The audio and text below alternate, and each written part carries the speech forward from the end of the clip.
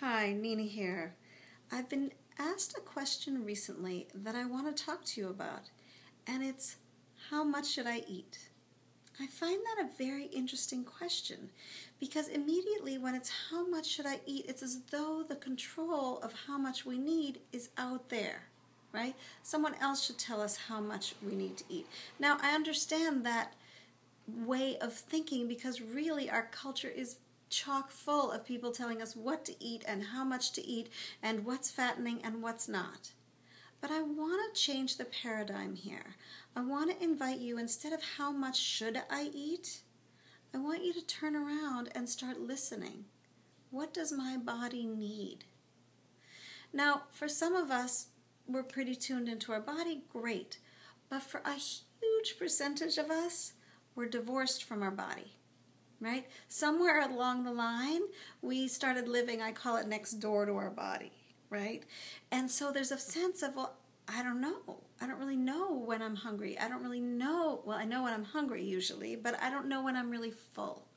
Or I don't know how much is enough. Or I don't know when to stop, right?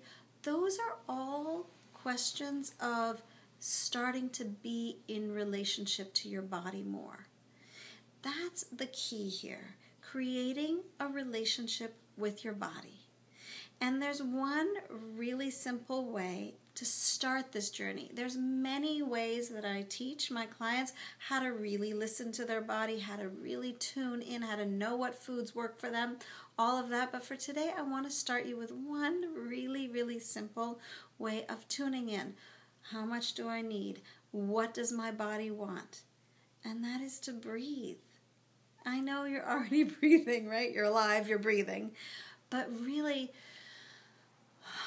breathe right down into your chest, right down into your belly, right into your body. Your breath is the doorway from the outside world to the inside world, right? It's a way for you to start having that communication happen. What does my inner experience really need? So I want you to experiment with that this week. Experiment with breathing as you eat. It's a very powerful practice, I promise.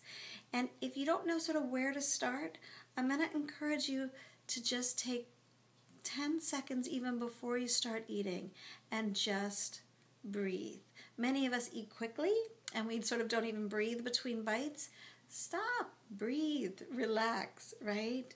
So take your time and breathe this week and notice if that shifts the conversation into what should I eat and how much should I eat to listening to your body. What does my body need? Because that's the key. A really strong relationship with your body.